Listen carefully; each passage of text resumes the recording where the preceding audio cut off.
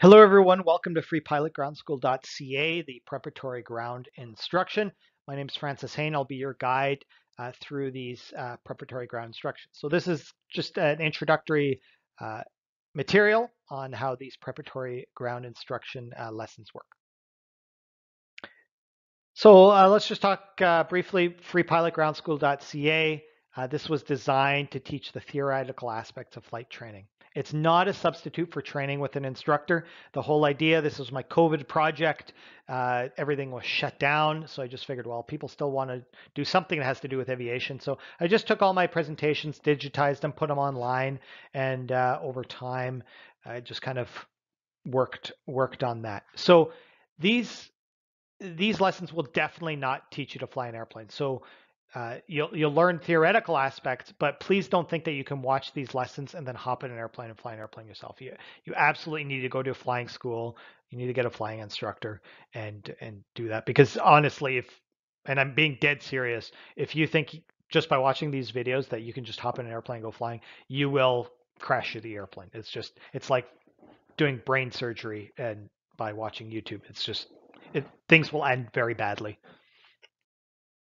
So if you go on freepilotgroundschool.ca, I have the training syllabus that I use, uh, and it's divided into a number of different segments uh, for the private pilot license. So first off, we have our pre-solo segment, and in the pre-solo, we do some basic maneuvers, just learn how to do straight and level flight, climbs, descent, turns. Then we do some upper air work. So that's uh, what we call steep turns, slow flight, stall spins, things that we have to be high up uh, to do these maneuvers. And then lastly, we do circuits or takeoffs and landings until you get competent and you're comfortable flying the aircraft by yourself. At that point, you're going to do a first solo. You're going to take the airplane, you're going to fly it by yourself. After that, you're going to do some specialty circuits. You're going to learn how to do uh, takeoffs and landings in short fields and soft fields. This is a combination of dual instruction and solo. Then you're going to do practice area work. You're going to do um, upper air work, uh, both dual and solo. Uh, so going back to uh, what we call the practice area, uh, and doing steep turns, slow flight. You're going to do that with an instructor until you're uh, safe for solo, and then you're going to do that solo. You're also going to do lower air work, so precautionary and forced approaches. That's where you kind of down low to the ground, learning how to fly the aircraft uh, if the engine quits. At that point, I highly recommend that you do your recreational pilot flight test. And the reason I say that is you never know what's going to happen. So I had students, uh, they were kind of at this point in their training, then COVID hit and all of a sudden everything's shut down and they can't fly by themselves because the, the flying school shut down. And so, had they just done their recreational pilot flight test, they could have at least gone flown by themselves and gotten some limited privileges on their way to their private pilot license.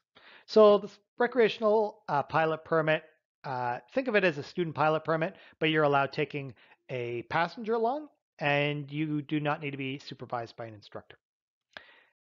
After you do that recreational pilot flight test, uh, you're going to do some dual and solo cross country. You're going to learn how to navigate and and go uh, to different destinations that are you know far away 100 miles away uh, from where you took off and you're also going to learn how to practice uh, flying under instruments so in case you ever get stuck in cloud or in fog that you don't end up a, a statistic at that point you uh, will complete your private pilot license flight test and uh, that will give you privileges. You are now a fully licensed pilot.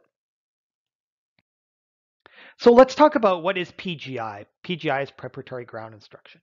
So your flight training is broken up into three aspects. Or uh, the, the first one is ground school. So we learn about the theoretical aspects of aviation. So uh, you've already seen, hopefully, on freepilotgroundschool.ca, we talk about air law, meteorology, navigation, theory of flight, systems, that sort of thing. Some of the stuff's pretty boring and dry, but you have to know it. It's just the way it is. Then, of course, everyone loves flight training, right? That's where you actually get to touch the controls and you fly the airplane, and it's really fun. Uh, sometimes it's frustrating, but it's mostly fun. But unfortunately, it's also expensive by the time you add up all the costs associated with operating an airplane that costs $100,000 and um, the maintenance costs and the insurance. It's like $5,000 a year and everything. It, it's it's kind of expensive, but it, it is the most fun. And then we have something called preparatory ground instruction, and that's what these series of lectures are. And so preparatory ground instruction is the flight training on the ground. It's uh, It's where you learn uh, what you're going to be doing in the air. And we do this because it's uh, both a more effective teaching method. So you you're not paying attention to flying, you're paying attention to what you have to do. It's also way less uh, money than than learning how to or than doing the flight training. So if let's say I do a PGI and it takes me 20 minutes, well, I'd, I'd much rather teach you how to do let's say a steep turn uh, on the ground uh, with this video and then you can go practice it in the air than just me starting everything from scratch uh, in the air and you're just wasting 20 minutes of expensive flight time uh, to do that okay?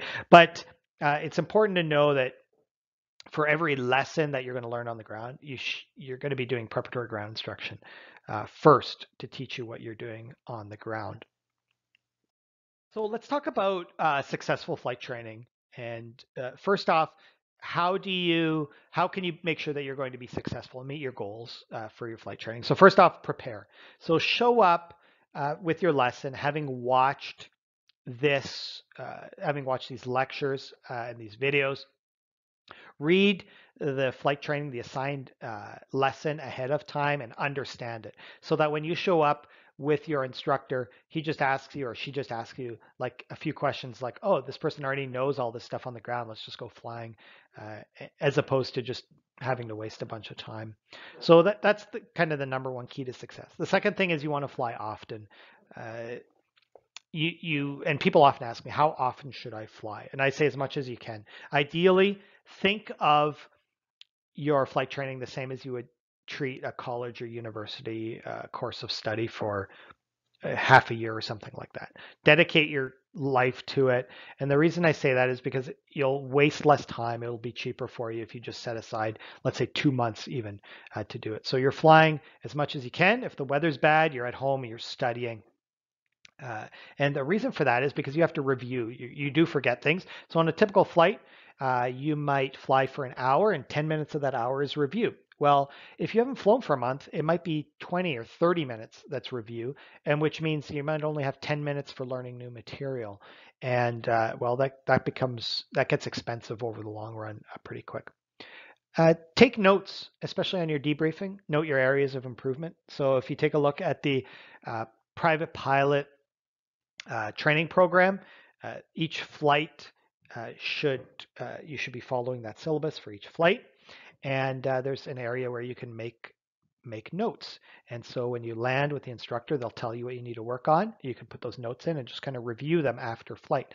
It's especially important on uh, solo flights. And so one thing that I tell students to do is after they get back, uh, I've given them, let's say, a series of exercises that they have to complete uh, while solo. And I'll get them to come back and then I'll say, okay, look at the flight test guide and you can download that on freepilotgroundschool.ca or the Transport Canada website.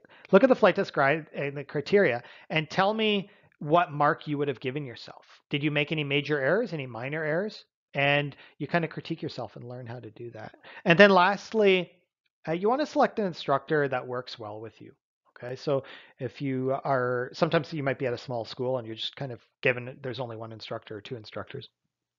But uh, there's all sorts of different types of students and there's all sorts of different types of instructors. So not every instructor will be good for every student. So just for me example, I generally tend to be an impatient kind of person. I force feed students. Uh, if somebody's really motivated and sharp, I can probably get them done faster than, well, any other instructor that I've met, to be honest with you. But uh, for some students that just take more time and need more patience, uh, and hand holding, I I'm not I'm not there I'm not the ideal instructor for them, and so they should find another instructor. And so you should be the same way as if if you if you're one of these students that shows up prepared and you know everything there is to know, um, or well maybe you don't want to get too arrogant but you know what i'm saying and and and you're at like 15 hours and the instructor still doesn't want to let you land or even you're at like five hours or something and and you've done all the work. Well, it might be it might be time for you to go get together with an instructor, talk to the chief flight instructor, and uh, it might be better that you just go with an instructor that can kind of keep up with you. And and likewise, if you're if you're finding that you're having some difficulty, you're you're doing putting the preparation in, but it's not it's just not coming together for you.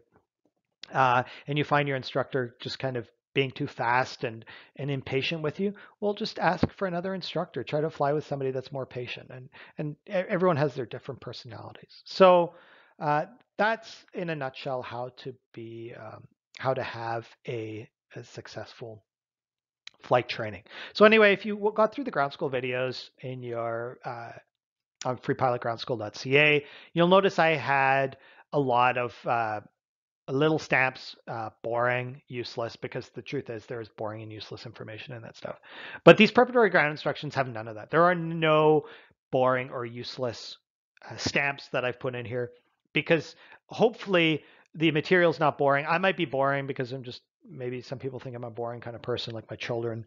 Um, but uh, the information is definitely not useless. Uh, the information is very important, and I, I really hope you prepare well and and really take the information that that I present uh, seriously uh, because this is information that's going to save you, uh, you know, in some, you know, even if you're if you're reading it going like, when will I ever need to know this? And then one day you will need to know it. So an example uh, for the commercial pilot license or the airline transport pilot license, one of the things you have to learn is like finding a sun's true bearing, which everyone looks at it and it's like, wow, when would I ever need to use this? This is so stupid and useless. Uh, and then one time in my career, I had to use it, and I was glad I knew how to do it because I was in the middle of the Arctic and I had to use this finding the sun's true bearing because like a whole bunch of stuff failed in my aircraft. Um, because you're so far north, the compass doesn't work, uh, and then my GPS failed, and uh, I think a couple more, another navigation aid failed. It's like a partial electrical failure. So I had to use this sun's true bearing, and thankfully I remembered how to do it, and I, I was able to kind of dead reckon my way home and figure out how to get home. So uh, yeah, that's that. So anyway, thanks for joining me. I, I hope you're going to enjoy these preparatory ground instructions, and uh, I encourage you, uh, you know, if you're interested in flying, uh, watch these prior uh, to your lesson and do these kind of together with uh, your flight training. So your ground school you can get done completely without ever getting in an airplane, but these ones you want to do concurrently. So uh, when your instructor says, okay, your next flight you're going to do stalls and spins, let's just say, well, watch these videos prior.